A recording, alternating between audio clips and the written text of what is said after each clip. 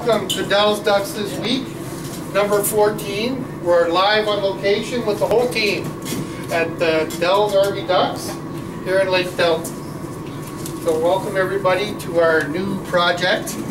And uh, first of all, we want to uh, say thank you to Mr. George Field for having us tonight Thanks, and uh, for being the primary sponsor of the team for the first three years. Thank you very much. It's a pleasure for us to sponsor the team. Uh, we appreciate the hockey in the area, and of course, we want to support it.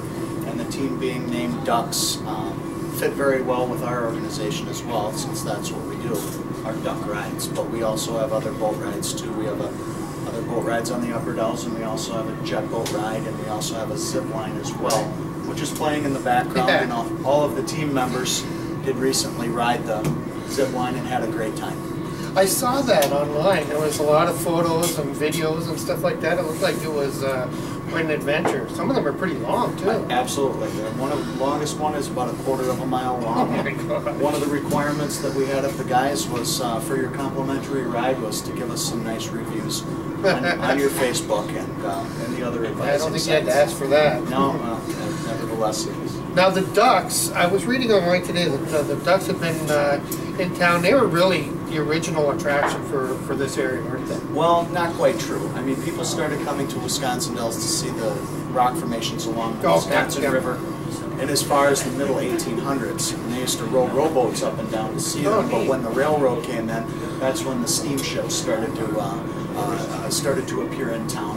And then after that, slowly uh, the tourism industry built and built. And then after World War II, my grandfather found these. Who was in the trucking business in Milwaukee found these six by six boats out in California, drove one of them back to Milwaukee and stuck seats on them, and in 1946 brought them up here to Wisconsin Dells and started giving tours to, his, uh, to, to people on the Wisconsin River.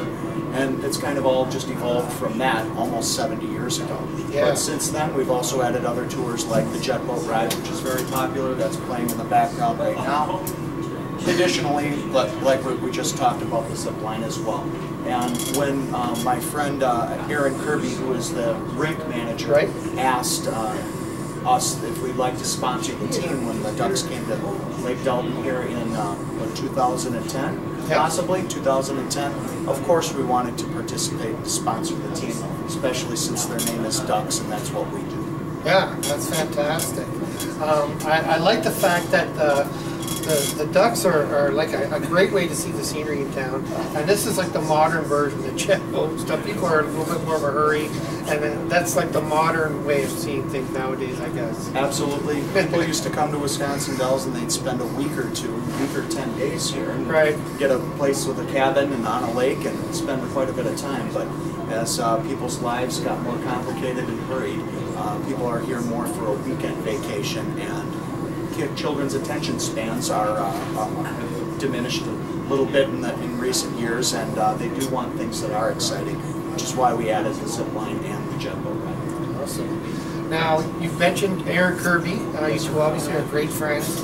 And uh, the connection to hockey goes way back. You played hockey together as youngsters. A little bit different in those days, wasn't it? You played in a different sort of uh, arena, I think. Yeah, I still play adult hockey on Wednesday nights, Oh, and I play with 20-year-olds who all grew up on indoor ice. The Poppy Waterman Arena went in about uh, 1998 or 9, something like that. And uh, Aaron and I uh, played hockey on the old rink, which was outdoor ice, and uh, that was some. That was a little different hockey, obviously, because we didn't have as many games, we didn't have as much opportunity to practice. So uh, as a result, you know, the kids that I play with at 20 years old are much better skaters. But nevertheless, yes, Aaron and I played hockey in high school. He was in my brother's class, which was only a couple of years younger. We've remained friends ever since. And uh, like I said, when he asked to sponsor the team, of course, we to Yeah, we are so thankful to have the Delta Ducks as our primary sponsor. And uh, I thank you, George, for this. And uh, we'll to see you at the rink and uh, maybe drop a puck somewhere over the course of the season. Oh, that'd be nice. Thank you very Thank much, you. Jeff. Thank you. Let's Thank hear you. for George Field.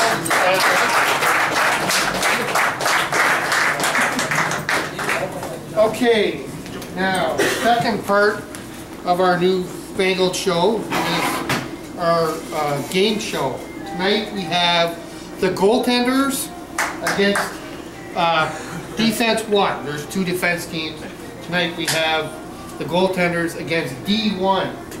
And included on the goaltending team is Robbie Meadows, uh, 93 from Shelby Township, Michigan.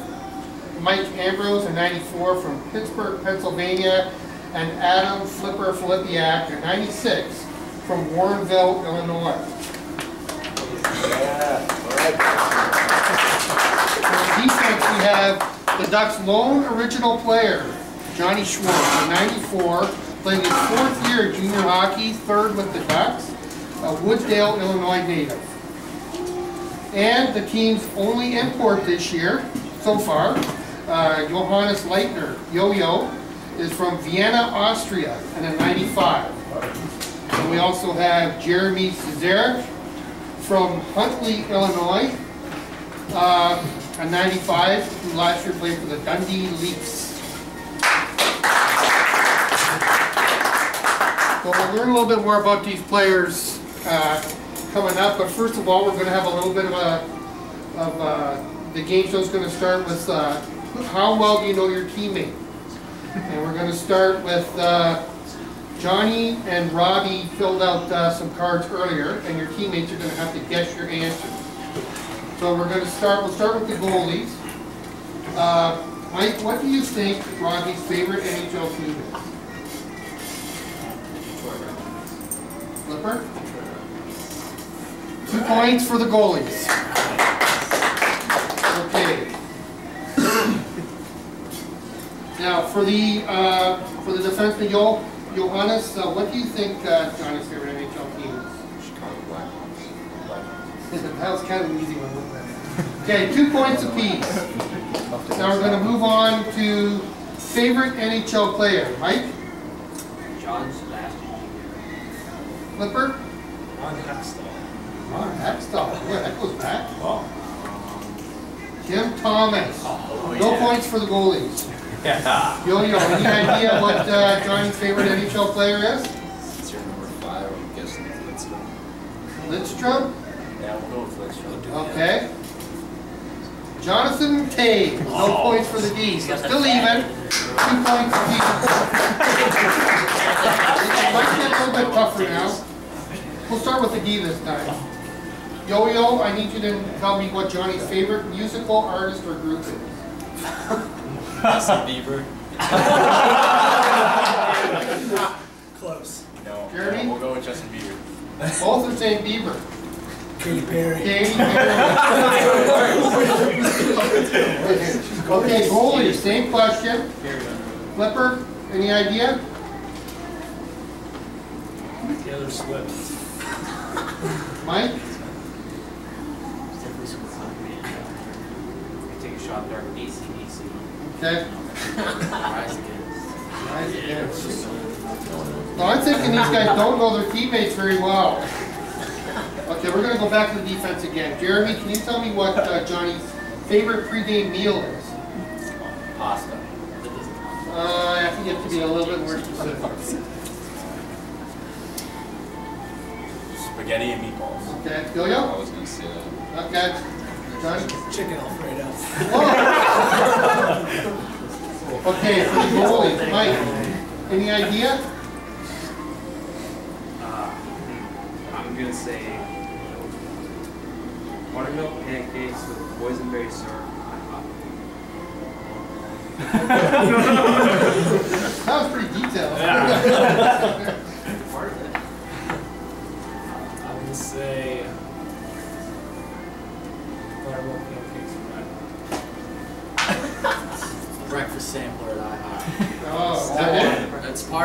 part of the breakfast sampler. Judge? Where's Jake? Half point. Give them one. One point. One point, okay, so you're three to two. Okay, so we'll stick with the uh, goaltenders. We'll have the lead right now. Which one did uh, your goaltender pick? Star Trek or Star Wars? Easy Star Wars. Star Wars. Five points for the goalies. That is correct. Star Wars? Star Wars. Okay, so we're heading to the uh, second round Goalies are leading the defense five points to four. So let's hear for the goalies so far. Okay, for this part now, you're gonna have to use your, uh, your buzzers, which are Dell's duck calls. So be at the ready. I don't think you can have them in your mouth, you have to have them down. If you're fair. You have a hand on it. You won't be able to tell who. Can they have their hand on it? That's fine. Okay. You won't allow it. Okay, first question. Which of the following league teams does not feature a bird in its nickname? Dells, Ileana, Edina, or Rochester? Johnny. Johnny. Dinah. Correct. So now we're tied five points each. Okay, this one's worth two points. Two Dells Duck players have two things in common. First, they're tied for third place overall in league scoring, along with Kendall Bolin Porter of Maple Grove, and they also share the first name. Mike. Ian Wood and Ian Harris. Correct. Oh. Only two in front, seven to five. This is another one-point question. What is the name of the Dell's Duck mascot? Johnny. Johnny. Dangles a duck. Correct. Seven, six. Another one-point question. An effective way of killing a penalty in your own end. This is also said to be a girl's best friend. Mike. Correct.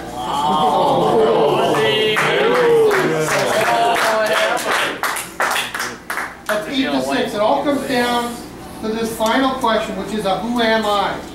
If you get it on the first clue, you get five points. If you get it on the second clue, you get three points. Third clue is two points, and fourth clue is one point. Okay? So here's your first clue. I was born on April 18th, 1982, and obviously became a Bruins fan. Oh. Uh, Coach Bill. Correct, for five points. That was so obvious. So, first round of the Dells Duck competition goes to the defense with 11 points to 8 points. So let's hear for the defense one team.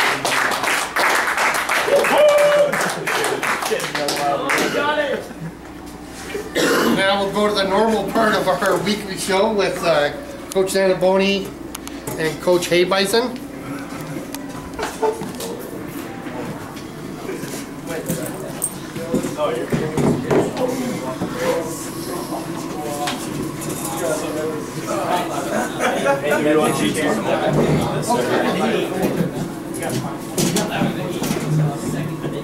George, what's next? Yeah, that- that's great. Okay. Okay, let's, first of all, we, uh, we have one coach that's a goalie and one coach that's a defense. Yeah. So I'm thinking I know who you guys were cheering for in that, uh, game show there, am I right? Uh, you know what? It's just nice to to see if guys understand each other very much, and uh, I think we learned a lot about the guys tonight. So, Maybe not so good. Next week's, uh, should be interesting. Um, we're gonna have a little bit of a brother-brother competition next week. Uh, we're gonna have the forward line of Ian Wood along with Big Hef and Danny Rowe. They're gonna be going up against the other defense unit of Stima, Jake Stima, Mike Sully Sullivan, and Little Hef. So that should be an interesting competition next week. yeah, there might be some blood in that one with the brothers. That's for sure. Might have to, uh, get a little bit, uh, We have to bring in some might have to bring a security. ref in for that one. Yeah, Okay, let's talk about the team so far. Obviously, at six and oh, um, you have to be pretty happy. You went to uh, Maple Grove running a four, a four-game winning streak, but you're facing a team that had four wins, and uh, you knew that it was a tough rink to play in. So uh, you knew you were going to be a pretty tough team. yeah, absolutely. I mean, we knew, um, you know, they're built to play on that ice sheet, which is the Olympic sheet. Um, so it's stuff that we talked about uh, a week prior, you know, to, to heading up to make Maple Grove. Right. you know what, they, uh, we were very unsuccessful there last year as a group, and it's something that, you know, we wanted to change uh, as a staff. And, you know, we we put some time in, and we had the guys put some time in and do some homework and, and come up with uh, a game plan to, you know, to be successful. Okay. Jake, uh, defensively, um, this team's identity, I mean, all over, but really on defense, this team's identity is to play a close checking, real physical style. And if you give a team more room to move, they can maybe get around the checks a little bit. Um, Playing on the big ice, was there any difference in strategy or anything like that? Not really difference in strategy. It's more so just making sure everything that they're doing is perfect to the T. Like making sure the defense are staying within the dots, forcing guys to the outside, Okay. uh, closing gaps on the blue line if you can, making sure you know where your guy is in the slot because the zone is so much bigger. There's a lot more room for guys to just kind of float around, float around and get lost. Yeah, right. Uh, just kind of everything is just kind of focused in. Now, both teams really have a knack for those big, long outlet passes. It really was kind of an interesting game on big ice because uh, it seemed smaller with the, with the big passes. Well, yeah, I mean, that's stuff that we talked about, you know, sometimes we had to go east and west to get north, but, um, you know, especially on changes in the second period where teams have long changes and, and they were playing, you know, the last game it was their four and four, so I mean, um, you know, we knew it, we thought we could stretch them out a little bit. Uh, they were gonna be a little bit maybe uh, mentally tired, um, and, and forget about some guys, so we try to take advantage of that stuff. Okay. First game, it was really wide open going into the third. I think it was 1 1. Yep. Um, the, game was up for grabs, and the team really dug down to get the, uh, the two goals. I think they were both by Ian Harris. Yep. Um, and uh, I think the first one, you kind of got behind their defense, and then the, the second one, I think, empty. But uh, coming up big when you have to, that's that's just what uh, what wins games, I think, watching that this season. Yeah, you know, the biggest thing was is the, the game winner was actually a shorthanded goal by Ian. Oh, that's right, too, Um, yeah. So, you know, he blocked the shot, and, then went down and finished it. And, you know, the shift before that, and Jimmy Buckingham blocked the shot, got ball down for a penalty shot. So, I mean, you know, we were going. You know, the guys understood that the two points are on the line, and, and they're big early in the season. You know, these are the points that you don't want to look back on and, and say, you know, we wish we would have dug a little deeper, and, you know, and finished that play off, or you know, I wish I, you know, I would have read my coverage better. So, I- so we're really trying to pay attention to details of their guys, and and you know they're doing a good job. They're putting in effort, you know, every day at the gym and, and on the ice, and uh, you know, hard work's kind of paying off right now. So. Now, they were riding a bit of momentum coming into the game. They had a win the night before against Hudson.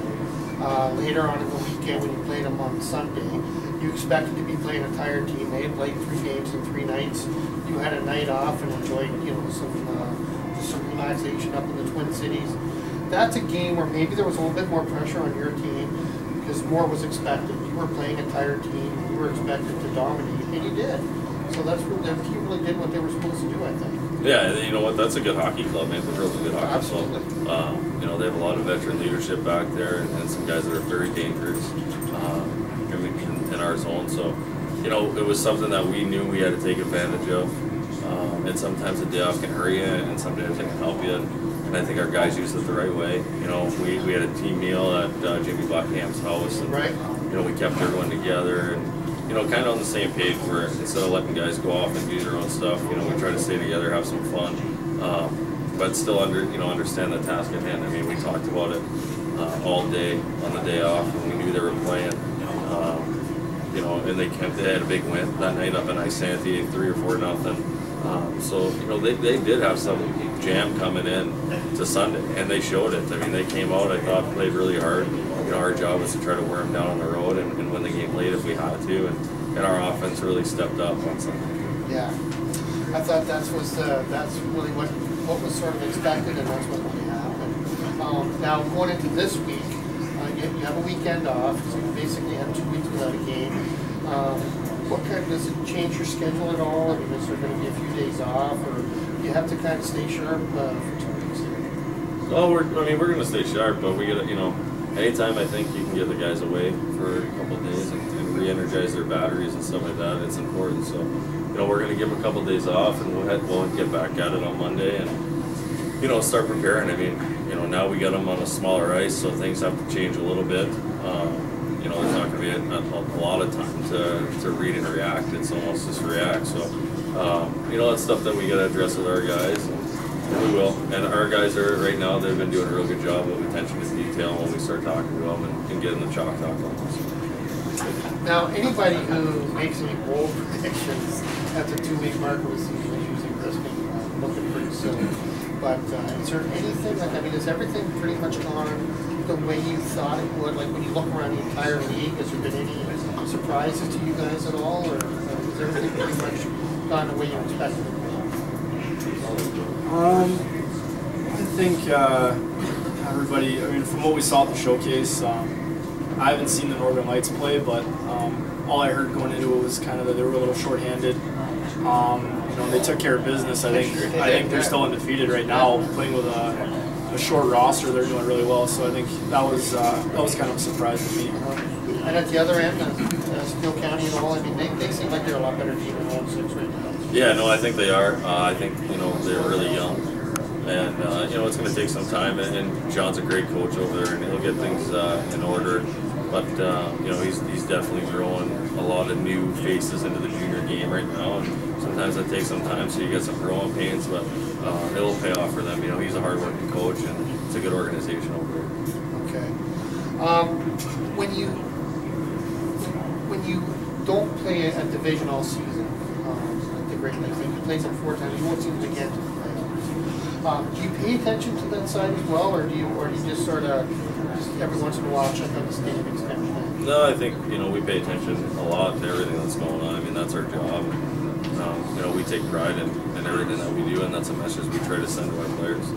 So um, you know it's kind of lead by example. I mean we try to make sure they understand what's going on in the other division and who's doing what, and players doing what, and um, you know we, we try to keep them aware and we want them on our toes because you know that's something that that's a place where we want to be at the end of the year.